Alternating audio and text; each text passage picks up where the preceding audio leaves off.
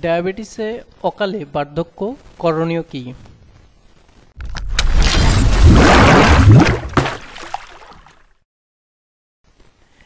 নিজের স্বাস্থ্যের ব্যাপারে উদাসীনতা, অবহেলা এবং খাবার গ্রহণ, ঘুম ও কর্মস্থলের তৎপরতায় অনিয়মের কারণেই ডায়াবেটিস বাসা বাঁধে মানুষের শরীরে।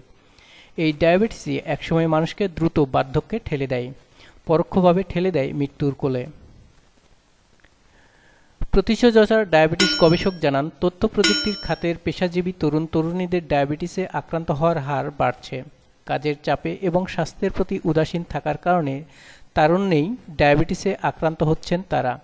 তিনি আরও জানান, ইন্টারনেট নির্ভর চাকরিজীবীদের খাওয়ার নিয়ম, ধরন ও মাত্রায় অনেক বেশি ভিন্নতা থাকার কারণে তারা অতি শীঘ্রই ডায়াবেটিসে আক্রান্ত হন। শহরের মানুষদের ডায়াবেটিসে আক্রান্ত হওয়ার হার বেশি এবং জীবনযাপনের অনিয়মের কারণেই তারা ডায়াবেটিসে আক্রান্ত হওয়ার হার ক্রমাগত বেড়ে চলেছে।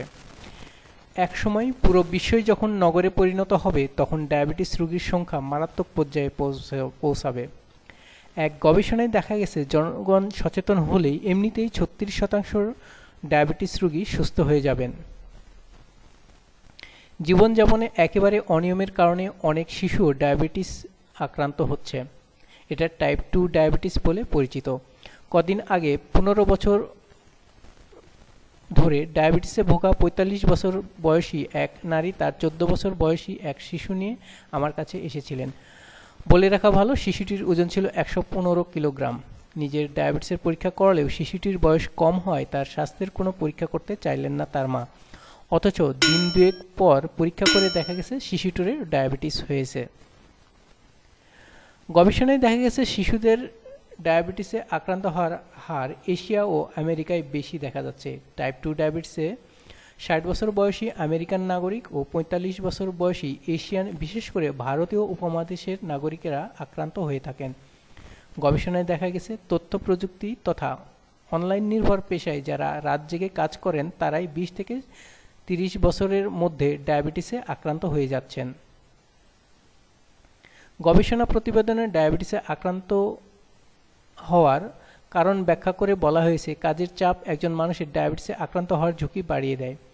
কাজের চাপ মানুষের রক্তে গ্লুকোজের মাত্রা বাড়িয়ে রোগ প্রতিরোধ হরমোনগুলো অকেজ করে দেয়।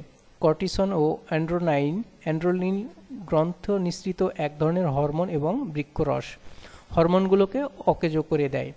এ কারণে আক্রান্ত ব্যক্তির শরীরে রক্তচাপ বেড়ে যায়, ইনসুলিন প্রতিরোধক হরমোনগুলোর কার্যকারিতা বেড়ে যায়। পরিবারের কোনো সদস্যের যদি উচ্চ রক্তচাপে ভোগার পরস্পরা থাকে, তাহলে এসব কারণে খুব অল্প বয়সে উত্তরসূরি এই রোগে ভুগতে পারেন। ফাস্টফুড খাওয়ার কারণে ধূমপান ও কোমল পানীয় পানির মতো ডায়াবেটিসে আক্রান্ত হওয়ার সম্ভাবনা বেড়ে যায়। যদি কেউ ডায়াবেটিস নিয়ে তেমন কোনো চিন্তাভাবনা করেন না, ভাবেন এমনিতেই চলে যাবে। একসময় দেখা যাবে আক্রান্ত ব্যক্তির স্নায়ু, চোখ, কিডনি ব্যাপক বিরূপ প্রভাব পড়েছে। রোগীর শরীরে বয়স্কের ছাপও ফেলতে পারে এই ডায়াবেটিস। এমনকি বৃদ্ধের মতোই আক্রান্ত ব্যক্তির শরীরে বিভিন্ন রোগ দানা বাঁধতে পারে।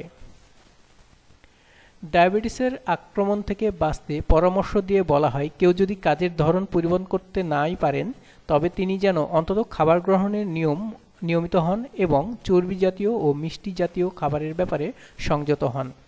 অনেক বেশি সবজি খেতে হবে এবং প্রতিদিন অন্তত দুই থেকে তিনটি ফলমূল খেতে হবে। খাবারে অভ্যাস পরিবর্তন আনলে ডায়াবেটিস নিয়ন্ত্রণে উল্লেখযোগ্য ইতিবাচক পরিবর্তন দেখা যাবে। ঘুমাতে হবে পর্যাপ্ত পরিমাণে। কম্পিউটারের সামনে থেকে অন্তত দু ঘণ্টা পরপর উঠার অভ্যাস করতে হবে এবং হাঁটাহাঁটি করতে হবে। কারণ অনেক সময় ধরে একটি আসনে বসে থাকায় শারীরিক স্থিতি অবস্থার উপর প্রভাব ফেলতে পারে, এমনকি রক্ত প্রবাহেও নেতিবাচক প্রভাব ফেলতে পারে।